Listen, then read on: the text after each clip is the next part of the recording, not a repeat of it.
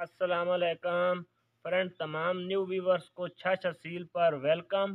تو فرینڈ، اس دن والی ویڈیو میں میں نے آپ کو بتایا تھا بھئی آپ کو بتاؤں گا گرمیوں میں مرغوں کو پانی میں کیا ڈال کے دینا چاہیے، جس سے آپ کا مرغہ بیمار نہ ہو اور آپ کا مرغہ کریس بھی انشاءاللہ جلدی کرے گا۔ آپ کو ایسی چیز بتاؤں گا جو آپ پانی میں ڈال کر دیں گے تو آپ کا مرغہ نہ ہی انشاءاللہ بیمار ہوگا اور کریز بھی اپنی جلدی مکمل کرے گا۔ تو فرینڈ، یہ مرغ پٹھا چیک کریں۔ تقریباً بارہ تیرہ منتھ اس کی ایج ہے۔ تو یہ دیکھیں، یہ بھی اپنی کریز میں ابھی شروع ہو گیا ہے۔ تو اسی وجہ سے یہ شروع ہوا ہے۔ یہ اپنے تقریباً آدھی کریز یہ دیکھیں، یہ چار پانچ پانچ پار اس کے رہتے ہیں پرانے۔ باقی یہ نیو نکل آئے ہیں۔ یہ دیکھیں دوسری طرف بھی یہی سین ہے۔ پانچ پر پرانے رہتے ہیں۔ باقی نکل آئے ہیں اور گردن میں بھی اسی طرح یہ دیکھیں ساری کریز ہے۔ تو انشاءاللہ جب یہ کریز مکمل کرے گا تو اس کی شائننگ جو ہے نا ڈبل ہو جائے گی انشاءاللہ۔ تو آئیں آپ کو بتاتا ہوں کیا پانی میں ڈالنا ہے، جس سے آپ کا مرغہ بیمار بھی کم پڑے گا اور کریز بھی اپنی جلدی مکمل کرے گا۔ تو فرینڈ یہ دیکھیں۔ یہ ڈسپرین ہے۔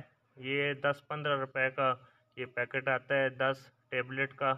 تو آپ نے تین دن بعد دو ٹیبلٹ پانی میں ڈالنی ہے۔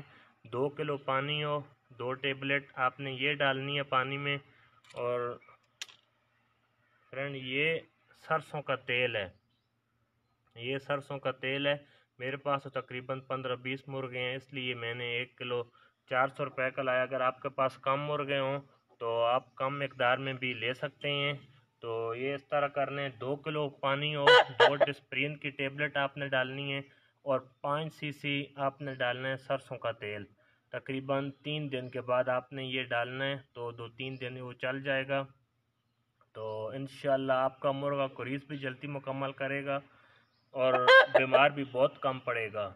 تو اکثر دوست ویکسین لگا کر بیغام ہو جاتے ہیں، ان کو فکر نہیں رہتی بھائی، اب اب ہم کا مرغہ بیمار نہیں ہوگا۔ تو یہ بات نہیں ہے۔ آپ نے اپنے روسٹر کی خود کیئر کرنی ہے۔ آپ تقریباً روزانہ یا ایک دو دن چھوڑ کر اپنے مرغے، اگر آپ کے مرغے کھڈوں میں ہیں، تو آپ جا کر معائنہ کریں۔ اپنے ایک ایک مرغے کے پاس ایک ایک دو دو منٹ بیٹھیں، چیک کریں، دیکھیں۔ آپ کا مرغہ سست تو نہیں ہے۔ آپ کا مرغہ سانس کس طرح لے رہا ہے چل کس طرح رہا ہے، آنکھیں تو بند نہیں کر رہا، اس کو کوئی دقت تو نہیں ہے، کوئی اس کو موشن تو نہیں لگے ہوئے، تو آپ نے یہ سب کیئر کرنی ہے۔ تو جو بھی مسئلہ ہو، شروع شروع میں وہ جلدی ریکور ہو جاتا ہے، تو بعد میں وہ آپ کے لیے بڑی پریشانی کا باعث بنے گا۔ تو شروع شروع میں آپ اس کو کنٹرول کر لو گے تو اچھا رہے گا۔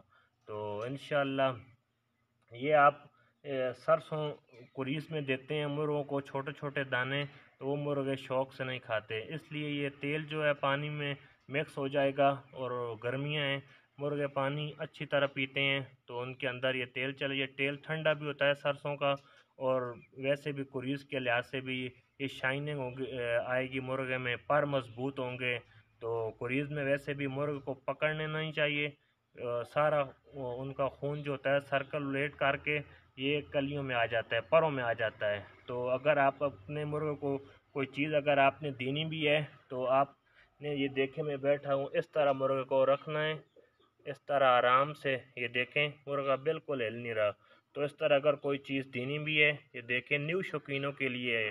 اصل میں جو بھی میری ویڈیو ہے، زیادہ تر یہ نیو شوقینوں کے لیے پرانے شوقینوں کو تو سب پتہ ہے، لیکن نیو شوقین مرغہ اچھی طرح پکڑتے نہیں ہیں کریز میں مرغہ ہوتا ہے، ساری کلیاں ٹوٹ جاتی ہیں اور ان میں سارا خون ہوتا ہے، تو مرغہ کمزور ہو جاتا ہے۔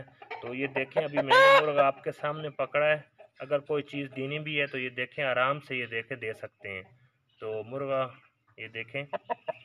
تو انشاءاللہ، فرینڈ، جو نیو ہیں اس ویڈیو پر تو وہ فرینڈ ہمارا چینل سبسکرائب کر دیں بیل آئیکن ضرور دبائیں تاکہ ہماری نیو آنے والی ویڈیو آپ تک ضرور تو فرینڈ انشاءاللہ نیو ویڈیو کے ساتھ حاضر ہوں گے۔ تو آگے بھی آپ کو بتاتے رہیں گے کیا تدبیر کرنی ہے۔ آپ نے انشاءاللہ آپ کا مرغہ بیمار نہیں پڑے گا۔ اوکے بھائی